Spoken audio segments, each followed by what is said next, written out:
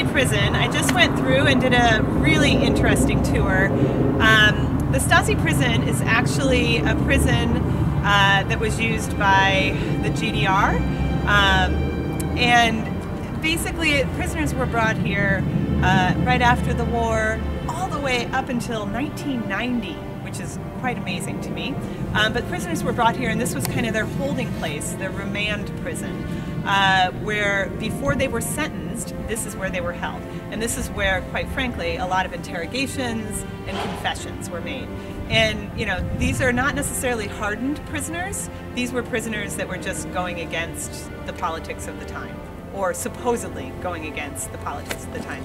Um, anyway, the, the tour is excellent. Really, really informative. You go inside the prison, you see the cells, you see exactly how they were treated. And there's actually kind of a new prison and an old prison. The old prison their their interrogation techniques were completely different. It was definitely more forced interrogation. The new prison was all about psychology.